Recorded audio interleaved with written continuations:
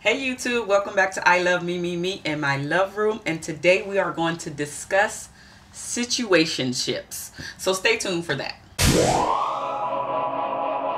All right family, so today as I mentioned we are going to discuss situationships. So first of all, let's define what a situationship is.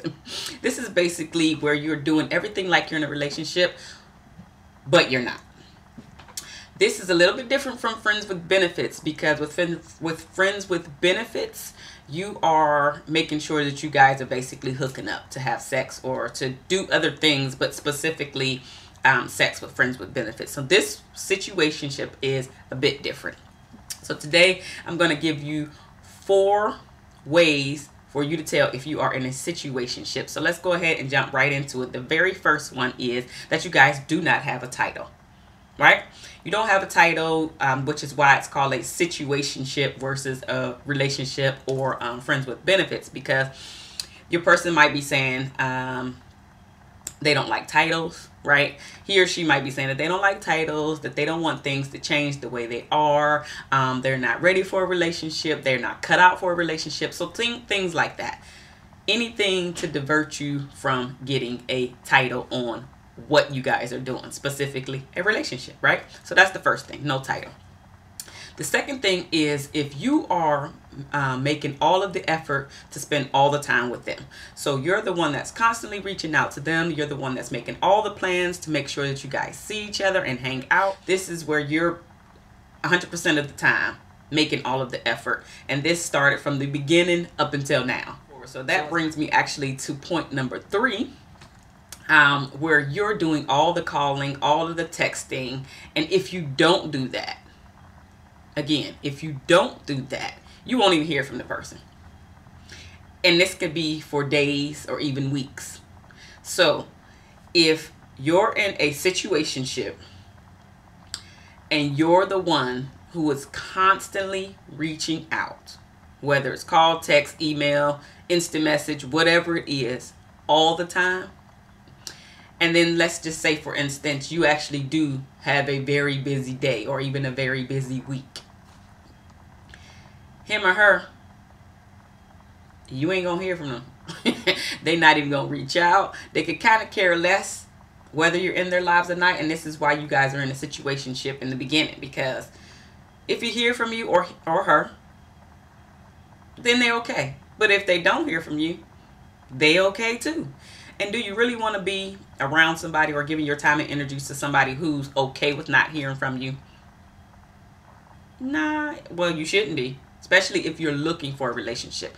But if, if you're okay with this, then don't do anything about it. But if you're looking for a relationship, you should not be the one that's doing all of the calling or all of the texting. And again, if you happen to really be busy and then you don't hear from them at all, that should be a problem for you. All right, anyway, the last thing if to make sure so you know that you are in a situationship is you guys have never been out on a date. Now, you might have met somewhere or even out on a dating site or at the grocery store, just out and about throughout your day, whatever, and then y'all met up and it was like for coffee or for like ice cream.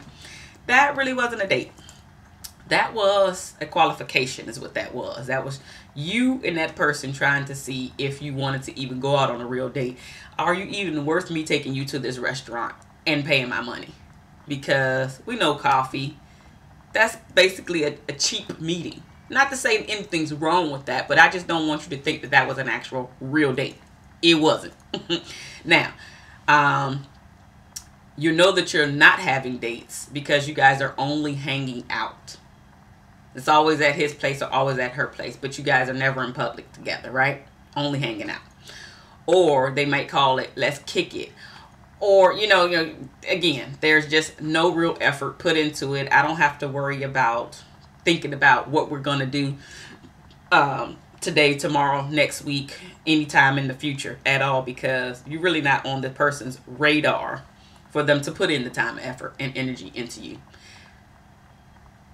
And you do have to look at yourself in the mirror, mirror with this because all of this is happening because you are allowing it. Now I want you to let that sink in. You're allowing this situationship to occur because you are the only person that can change this. And what do you have to do? You just have to know in your spirit, in your heart of all hearts, that this is not what you want and you have to walk away. Because you're not being fulfilled.